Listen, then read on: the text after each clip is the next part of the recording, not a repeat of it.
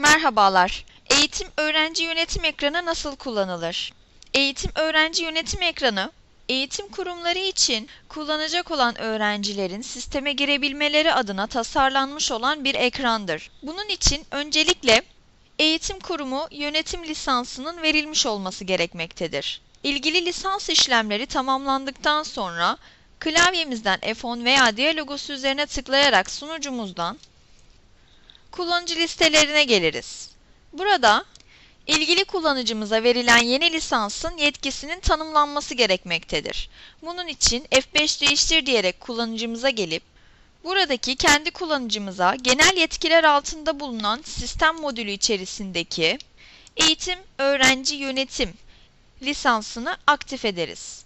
Bu şekilde kaydettikten sonra artık ilgili ekrana ulaşabiliriz. Tekrardan klavyemizden F10 veya diyalogosu üzerine tıklayarak arama alanımıza öğrenci yazmamız durumunda genel tanımlar altında bulunan öğrenci yönetim ekranını çalıştırırız. Burada eğitim kurumumuz içerisinde yer alan ve DIA programını kullanacak olan öğrenciler için toplu olarak kullanıcı oluşturabiliriz. Öncelikli olarak oluşturacağımız öğrencimizin kullanıcı kodunu örneğin şeklinde bir kullanıcı kodu veririz. Eğer kullanıcı kodumuzun şifrelerimizle de aynı olmasını istiyorsak kullanıcı koduyla aynı olsun işaretini tıklarız ve daha sonrasında tanımlanacak olan kullanıcılarımız için her bir kullanıcıya yeni firma tanımlanılacaktır. Bu firmanın da aynı kullanıcı koduyla olmasını istiyorsak ilgili işareti seçmemiz durumunda alanlarımız pasif gelecek. Bu pasif alanlarımız kullanıcı kodunda yer alan veri ile işlenilecektir. Ve kullanıcılarımızın belli IP'ler üzerinden sisteme erişmesini istiyorsak da izin verilen IP'ler kısmını doldurmamız gerekmektedir. Sağ alanda kullanıcı kodu ve firma adı ile ilgili yapılması gereken işlemlerin de örneklendirmesi bulunmaktadır.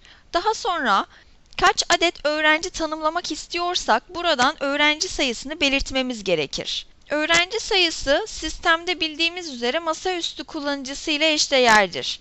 Kullanıcı sayımızı öğrenmek için yeni bir sekme açarak sol alanda sahip olduğumuz lisans bilgisi kısmına baktığımızda 150 masaüstü kullanıcısına sahip olduğumuzu biliyoruz. Daha sonra tekrar ilgili ekranımıza gelerek F2 oluştur dediğimizde 50 kullanıcı ve firması oluşturulacaktır. Gerçekten oluşturmak istiyor musunuz sorusuna evet diyerek bu şekilde görüldüğü gibi kullanıcılar oluşturulduktan sonra ilgili kullanıcı listesine sıralı bir şekilde kullanıcı kodları oluşturulmuş bulunmaktadır.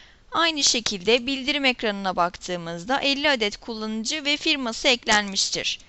Bu şekilde toplu bir biçimde kullanıcı oluşturabileceğimiz gibi klavyemizin boşluk tuşu veya sol alandan seçeceğimiz kullanıcıları da aynı zamanda F7 sil butonu ile karşımıza gelecek uyarı sonrasında 10 kullanıcı ve firması silinecektir. Gerçekten silmek istiyor musunuz? şeklinde soru gelecek ve burada kullanıcı ile birlikte tanımlı olan firmada evet dememiz durumunda silinecektir.